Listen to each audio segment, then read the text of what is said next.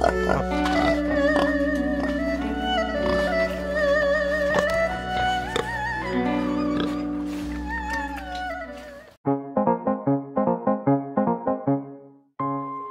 んにちは。アワーライフジャパンチャイナのチンムーと申します。今はすごく久しぶりにおばさまの家に来ている。息子は早速庭のナスをもぎって食べようとしている。都会育ちなはずなんだけど、意外とワイルド。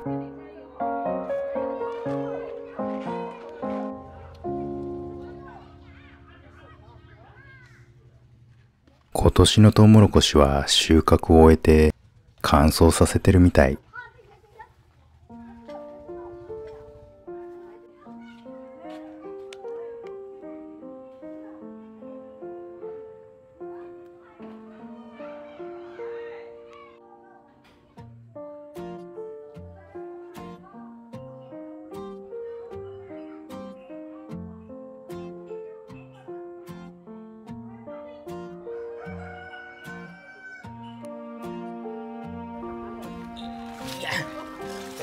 そんな簡単に抜けちゃうもんなの？もっと土の中に埋まっているものと思っていたけど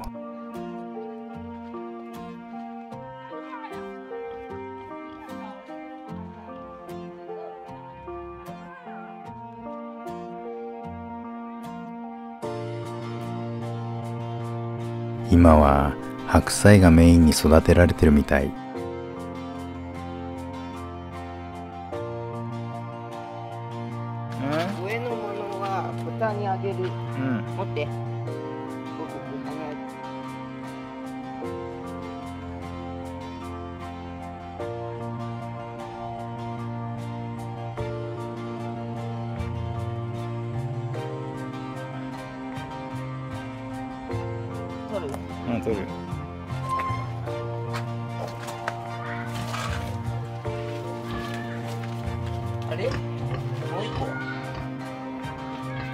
2匹いたでしょここここ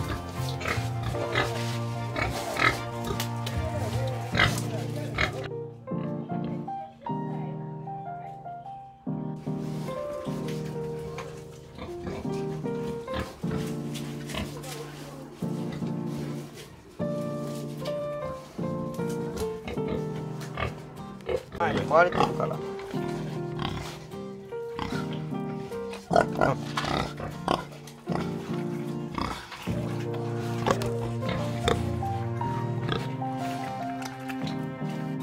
すごく愛嬌ある豚さんだけど旧正月から逆算したらそれこそ今から100日後に食べる豚ってことになる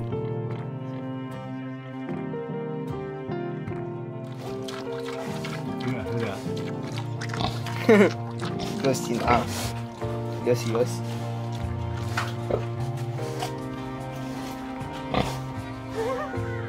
なくなった。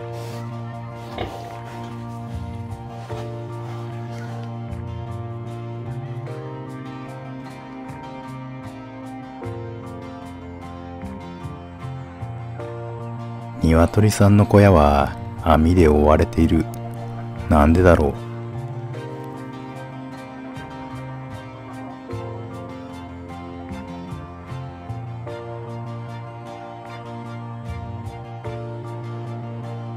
以前犬に襲われたことがあるから防護用かな。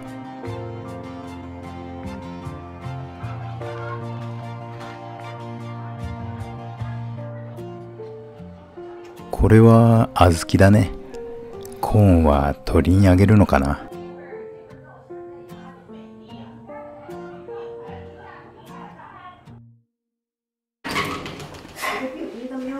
哇！啊，这个我想问一下，那里东西是什么？嫁家からいろいろなものを持ってきたみたい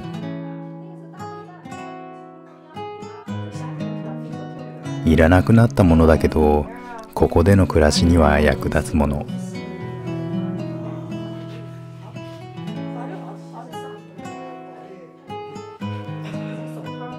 おばさま少し痩せたかな。日差しが強い中で畑仕事して日に焼けてるね。まあ元気そうで安心した。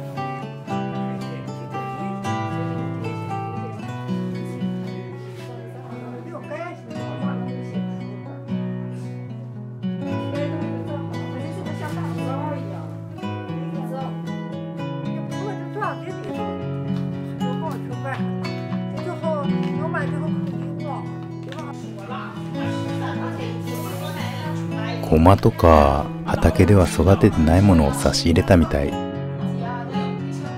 ごまは体にいいしね。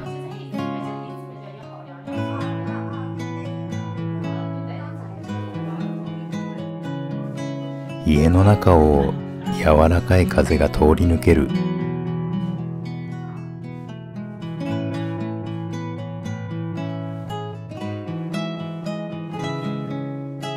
ここではゲームができないけど楽しいこと探してみな。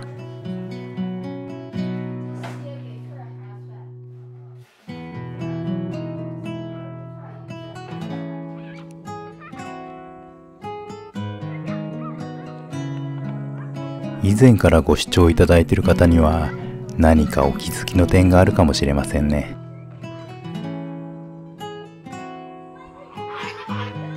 そう。道がアスファルトに変わりました。田舎もどんどん変化している。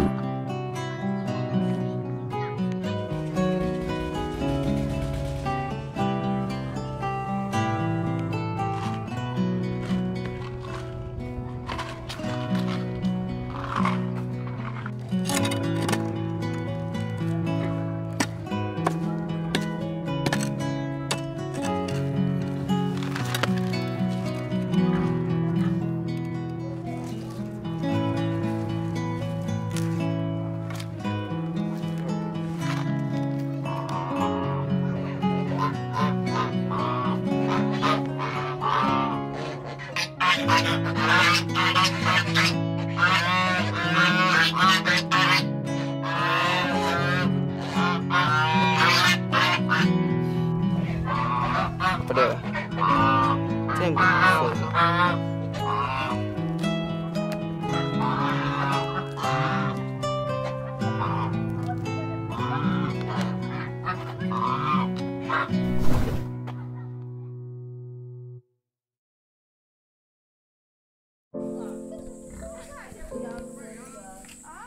ここは去年の夏頃に訪れたことのある親戚の家。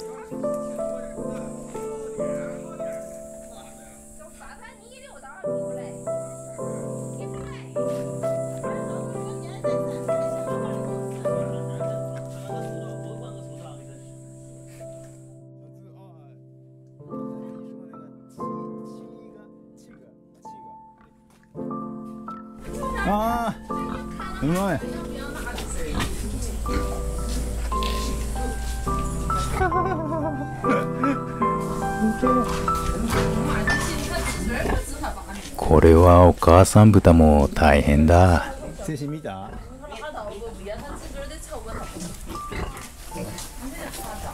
母は偉大なり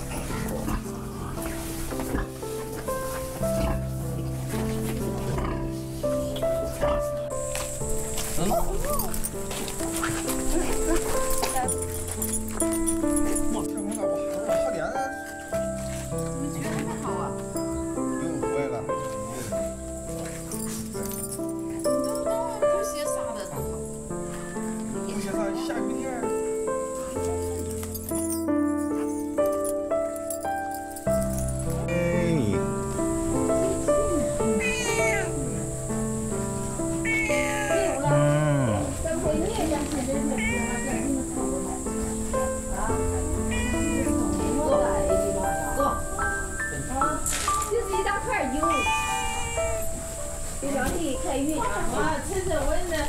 どの家もトウモロコシを乾燥させているね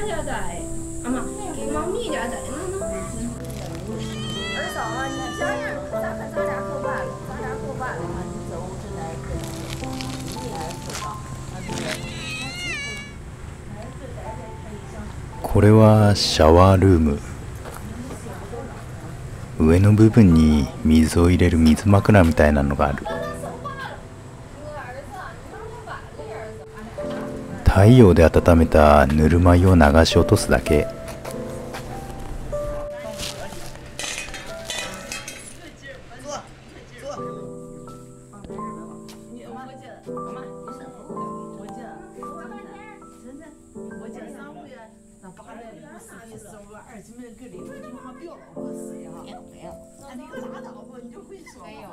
えい你看看あの猫可愛いくて我带你看多少去？我可愛くてあの猫。ここが髪の毛がこう整理してるみたいな感じで。コンクリートの上に広げて乾燥させるんだね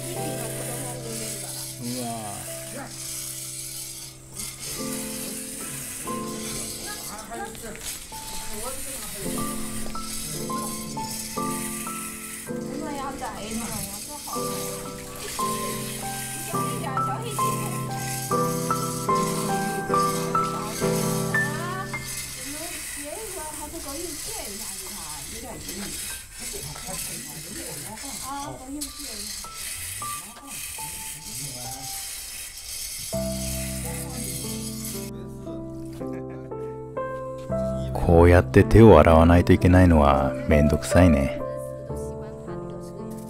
まあ助け合いながらの作業もありかな。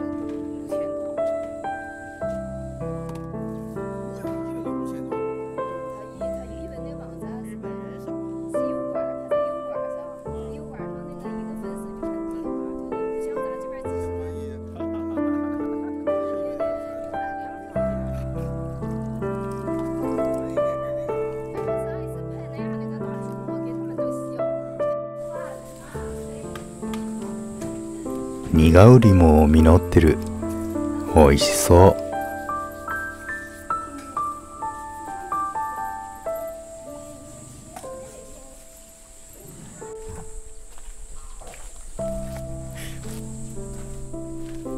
新しいトイレが利用されてるみたい。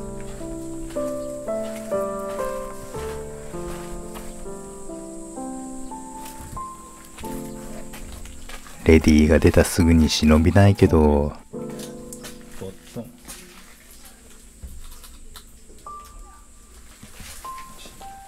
水洗ではないけどトイレットペーパーまでついて田舎のトイレもだいぶ進化したもんだ。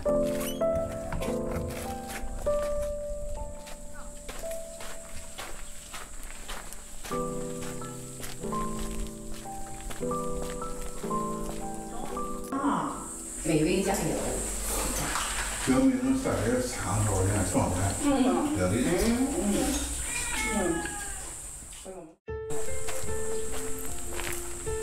ひどいな。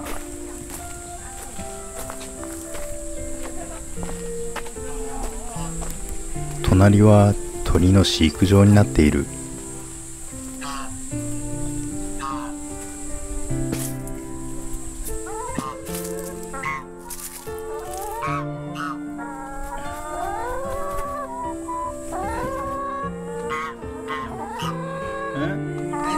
入れるよ。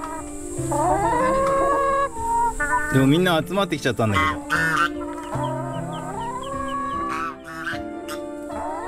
ど。餌がもらえると思っているのかな？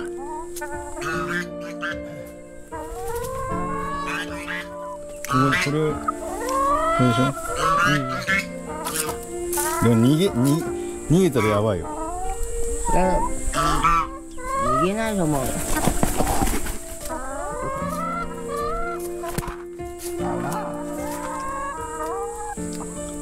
けようとしてみてみんな逃げたいのかな？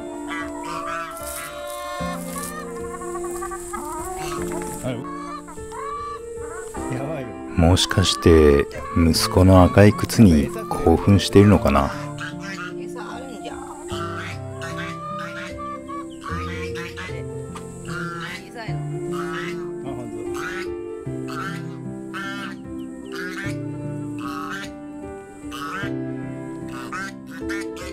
僕は去年から中国の田舎暮らしの様子を映像に残してきてるんだけどこの1年での変化も感じている。新しいトイレが設置され土だった道が舗装され始めてる。ただいろいろと整備されつつある田舎も高齢化と若者離れで空き家が多くなっている。果たして快適な暮らしができるようになれば若者たちは戻ってくるのだろうか。